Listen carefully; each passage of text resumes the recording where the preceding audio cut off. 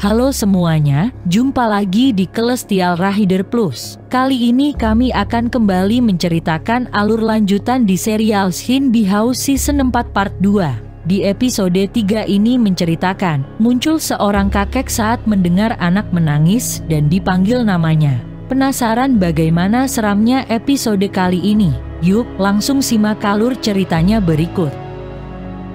Di malam hari, terdengar seorang anak laki-laki tengah menangis karena orang tuanya belum pulang dari tempat kerja. Sang nenek yang sedang bersamanya berusaha membujuk cucu tercinta upaya tidak menangis. Ia bahkan mengatakan jika cucunya terus menangis di malam hari, maka kakek tas jerami yang menakutkan akan menangkapnya. Si anak tidak percaya dan semakin kencang nangisnya. Lalu, terdengar ketukan dari arah pintu. Mendengar hal itu, si anak sangat senang karena mengira bahwa itu adalah orang tuanya yang telah pulang. Tiba-tiba lampu ruangan rumah mati seketika. Si anak kaget dan ketakutan, terutama saat melihat neneknya berubah seakan sedang dihipnotis dan mulai berjalan ke arah pintu lalu membukanya. Saat itulah terlihat sosok kakek tua tinggi, bermata merah dan menyeramkan langsung menangkap anak tersebut. Keesokan harinya, Duri baru pulang dari sekolah bersama temannya. Ia tengah mengobrol dengan asyik hingga tak terasa sudah berada di depan gang menuju rumahnya. Mereka pun berpisah dari sana, sehingga Duri harus melewati gang sepi menuju rumahnya seorang diri. Awalnya, tidak ada apa pun yang terjadi, hingga dia mendengar suara dari arah belakang.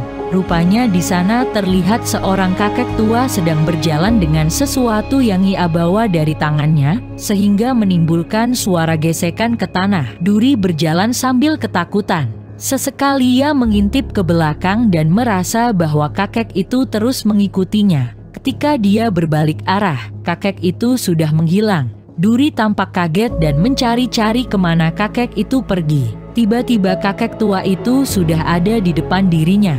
Duri berteriak kencang dan lari terbirit-birit. Padahal, si kakek hanya akan menyimpan barang yang ia bawa saja. Di rumah keluarga Hari, sang ayah baru saja selesai memasak dan menyuruh Hari untuk segera makan malam.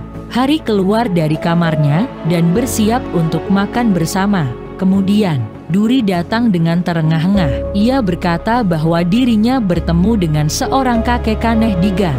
Namun, ketakutannya seketika hilang saat mencium bulgogi buatan ayahnya. Dia segera duduk dan memakan lahap bulgogi tersebut. Hari heran kenapa ibunya belum pulang. Lantas, sang ayah mengatakan bahwa ibunya tidak akan pulang karena sedang menangani sebuah kasus anak yang hilang pada malam hari. Saat hari akan memakan makanannya, ternyata semua makanan sudah dihabisi oleh duri. Tentu saja hal itu membuat Hari kesal dan memarahi adiknya. Di tempat lain, seorang anak perempuan bernama Yonsu tengah menikmati acara TV bersama neneknya.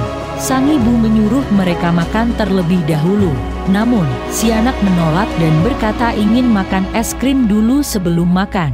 Tentu saja sang nenek yang ada di sebelahnya terkejut. Lantas, ia melarang cucunya untuk makan es krim sebelum makan. Begitupun ibunya. Bukannya menurut, Yeonsu malah semakin merengek dan menangis. Akhirnya, si nenek mengatakan jika cucunya terus menangis, maka kakek tas jerami akan datang menangkapnya. Setelah si nenek berkata demikian, lampu ruangan seketika mati. Lalu, terdengar suara menyeramkan dari seorang kakek tua. Yeonsu kaget dan ketakutan. Dirinya semakin takut saat mendengar suara aneh dari arah pintu. Ditambah nenek dan ibunya seakan terhipnotis oleh sesuatu. Apalagi saat neneknya berjalan pelan menuju ke arah pintu dan membukakan pintu rumah tersebut. Untungnya, si anak bergerak gesit dan langsung bersembunyi di bawah tempat tidur. Ia sangat ketakutan saat hantu kakek tas jerami berjalan ke dalam rumah dan memasuki kamarnya. Saat hantu itu berjalan keluar,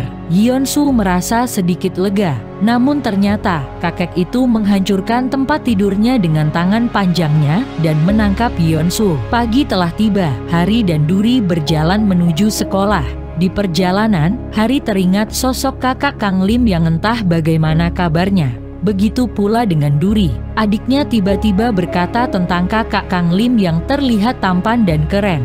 Mereka berkata banyak hal tentang kakak Kang Lim, sehingga tak menyadari ada sosok lelaki berpakaian serba hitam dengan penutup mulut sedang mengamatinya dari kejauhan. Di sisi lain, seorang nenek tengah membagikan selembaran tentang cucunya yang hilang kepada semua orang yang lewat. Namun, semuanya malah mengabaikan si nenek hingga satu selebaran terjatuh dan diambil oleh Hari. Nenek itu menceritakan bahwa saat duduk bersama cucunya, dia kehilangan kesadaran sebentar. Lalu setelah kesadarannya kembali, cucunya telah menghilang. Hari dan Duri langsung teringat ucapan ayahnya terkait ibunya yang sedang menangani kasus anak hilang, sehingga mereka sepakat menemui Shinbi dan Gembi dan menceritakan terkait berita tersebut. Awalnya Gembi masih merasa ragu, namun saat Duri mengatakan bahwa anak itu hilang setelah neneknya mengatakan kakek tas jerami akan menangkapnya, barulah Gembi percaya. Pasalnya, hantu kakek tas jerami benar-benar ada dan bisa jadi anak-anaknya yang hilang itu telah diculik oleh hantu tersebut. Sayangnya, Gembi tidak tahu di mana hantu itu berada. Dia hanya tahu bahwa hantu kakek tas jerami selalu membawa tas di belakang punggungnya. Saat itulah, Shinbi mengeluarkan alat lalu mencari keberadaan hantu kakek tas jerami. Anehnya, Shinbi tidak bisa mendeteksi keberadaannya. Gembi mengatakan bahwa hantu tas jerami sudah tua dan sangat pintar, sehingga dapat menyembunyikan energinya saat sedang tidak bergerak, sehingga mereka tidak bisa melakukan apa pun sampai ada petunjuk berikutnya. Ketika pulang sekolah, temannya merasa heran karena Duri tidak pulang ke arah gang biasanya. Awalnya, Duri membuat alasan bahwa dirinya ingin menggunakan jalan berbeda karena kemarin dia mengaku bertemu dengan seorang kakek aneh. Tiba-tiba, Duri menyadari sesuatu dan langsung bergegas pulang ke arah gang tersebut. Dengan siaga dan sembari mengarahkan bola makhluk, dia berjalan memasuki arah gang. Saat itu, dia merasa ada sesuatu di balik tumpukan sampah. Saat mendekat, ternyata itu hanya seekor kucing yang langsung membuatnya kaget. Namun, seorang kakek yang membawa tas di belakang punggungnya berhasil membuat Duri kaget kembali hingga bola makhluk miliknya terjatuh. Kakek itu langsung mengambil bola makhluk milik Duri dan mulai mendekatinya. Dikarenakan dirinya sudah dikuasai oleh rasa takut, Duri langsung berteriak dan lari terbirit-birit. Shinbi, Gembi dan Hari tengah berkumpul dan berdiskusi tentang hantu kakek dari arah belakang. Duri berteriak tentang kakek tas ada di gang. Dia juga mengatakan bahwa bola makhluk miliknya telah diambil oleh kakek. Hal ini tentu membuat Shinbi, Gembi dan Hari sontak berteriak kaget. Mereka segera menuju gang, namun tidak menemukan apa pun di sana. Bahkan, Shinbi pun tidak merasakan hal janggal di sana. Gembi berpikir bahwa hantu kakek tas jerami hanya muncul di malam hari saat mendengar anak menangis dan ada seseorang yang memanggil namanya. Dia menyarankan melakukan cara itu saat malam tiba. Hari setuju atas saran Gembi dan akan melakukan cara tersebut saat malam tiba. Ketika malam tiba, ayah Hari tengah mempersiapkan bekal untuk ibunya yang tengah bertugas. Dia terlihat bersin-bersin akibat lada yang ia tumpahkan ke dalam makanan. Hari dan Duri terlihat senang karena dia bisa melakukan rencana untuk memanggil hantu kakek tas jerami. Saat ayahnya sudah pergi, Hari segera memanggil Shinbi dan Gembi. Shinbi yang bercosplay seperti sutradara meminta Hari dan Duri untuk berakting dengan serius supaya dapat memanggil hantu kakek itu. Namun, akting mereka tidak menghayati, sehingga Shinbi menyuruh mereka untuk mengulanginya lagi. Duri menghentikan sejenak karena mencium bau makanan yang ternyata adalah steak. Dia meminta izin kepada Hari untuk beristirahat sejenak dan membiarkannya memakan steak satu gigitan saja. Tentu saja, hal itu membuat Hari kesal karena Duri hanya memikirkan makanan saja. Padahal dirinya sudah kehilangan bola makhluk. Saat melihat kakak beradik itu bertengkar, Shinbi dengan muka polosnya berniat untuk mencicipi stik tersebut. Namun, Gembi langsung mengeluarkan kekuatannya dan menghilangkan stik dari tempatnya. Gembi mengatakan bahwa stiknya sudah ia buang ke tempat sampah. Duri dan Shinbi seketika menangis dan meminta Gembi untuk mengembalikannya. Nyatanya, Gembi melakukan hal itu supaya Duri bisa fokus dan membuat hantu kakek tas jerami datang. Setelah itu, dia berjanji akan mengembalikan stik miliknya lagi. Tiba-tiba lampu rumah mulai padam. Duri terkaget saat mendengar suara menggema yang memintanya untuk membuka pintu. Dirinya semakin kaget saat melihat kakaknya, Shinbi dan Gembi sudah terhipnotis. Bahkan, Hari yang kehilangan kesadarannya langsung berjalan menuju ke arah pintu dan membuat hantu kakek tas jerami masuk ke dalam rumah. Untungnya, Duri sudah bersembunyi dan melarikan diri saat hantu itu tengah lengah. Duri terus berlari dan menghindari kejaran dari hantu kakek tua. Shinbi, Gembi dan Hari sudah tersadar dan bingung apakah hantu kakek tas jerami sudah datang atau belum. Sampai akhirnya, Hari menyadari bahwa Duri tidak ada. Gembi menyimpulkan bahwa kakek tas jerami sudah datang, terbukti dari pintu yang terbuka dan jejak kaki aneh di sana. Sementara itu, Duri masih dikejar oleh hantu kakek tas jerami hingga sampai ke gang. Dia bersembunyi di balik tumpukan sampah. Setelah hantu kakek tas jerami itu melewatinya, Duri keluar dari persembunyian dan segera melarikan diri lagi. Namun, di depannya muncul kakek tua yang pernah ia temui. Di rumah Hari, Shinbi masih mencari lokasi Duri berada.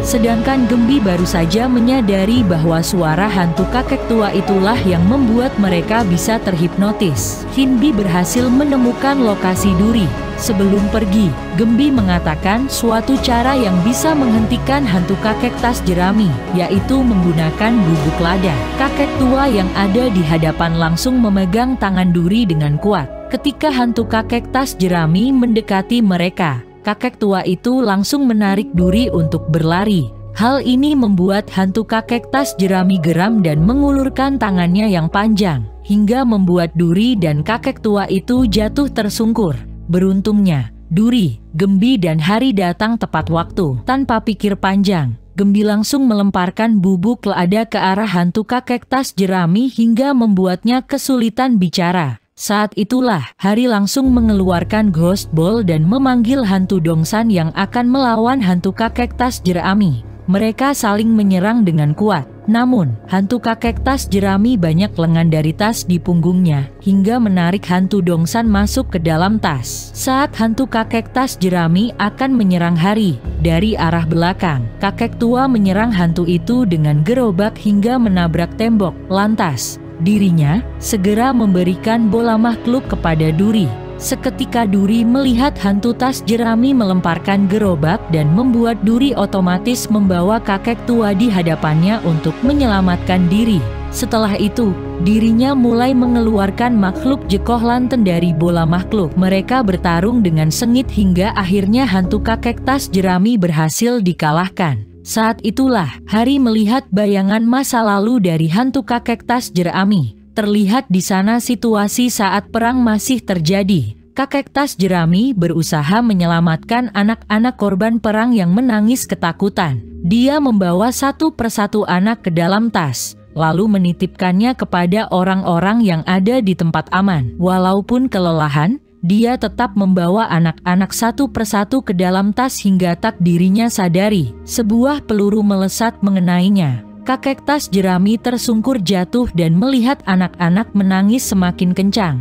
Di saat terakhirnya, kakek tas jerami mengatakan kepada anak-anak untuk jangan menangis. Kini, Hari mengerti kenapa hantu kakek tas jerami terus membawa anak-anak yang menangis. Hantu kakek tua itu hanya ingin membawa anak-anak menangis ke tempat aman. Kemudian, kakek tua yang menyelamatkan Duri menghampiri hantu tas jerami. Dia mengatakan bahwa si tas jerami tidak perlu khawatir lagi karena perang sudah lama berakhir. Setelah tahu bahwa anak-anak sudah hidup aman, kakek tas jerami kembali berubah menjadi arwah. Ia meminta maaf atas perbuatannya yang membahayakan anak-anak dan berjanji akan segera mengembalikan mereka. Setelah hantu kakek tas jerami pergi, Duri berterima kasih kepada kakek tua yang telah menyelamatkannya. Kakek itu tidak menjawab, namun langsung menulis sesuatu di atas kertas. Di sana tertulis bahwa sang kakek sudah tidak memiliki pendengaran yang baik dan tidak bisa berbicara dengan benar. Jadi dirinya meminta maaf kepada Duri kalau sudah membuatnya takut. Saat itu, Bi bingung kenapa kakek tua itu bisa mengerti ucapan hantu tadi. Dengan simpel, Gembi menjelaskan bahwa cerita dari hantu tas jerami sudah masuk ke dalam hatinya. Setelah selesai membaca, Duri pun membalasnya dengan tulisan lagi. Ia menuliskan bahwa dirinya meminta maaf karena merasa takut dan melarikan diri sebelumnya. Tetapi dirinya berterima kasih karena sang kakek telah menjadi penyelamat dan pahlawan bagi anak-anak. Nah, itulah kisah hantu kakek tas jerami yang ternyata menyimpan perasaan haru di balik penampakannya yang menyeramkan. Cerita ini tentu memberikan pesan kepada kita untuk bisa move on dari bayang-bayang akan masa lalu. Sebab fokus terhadap masa lalu secara terus-menerus hanya akan membuat hidupmu menjadi berat. So, nantikan episode lanjutannya ya. Jangan lupa klik like, subscribe, dan komen videonya. Terima kasih.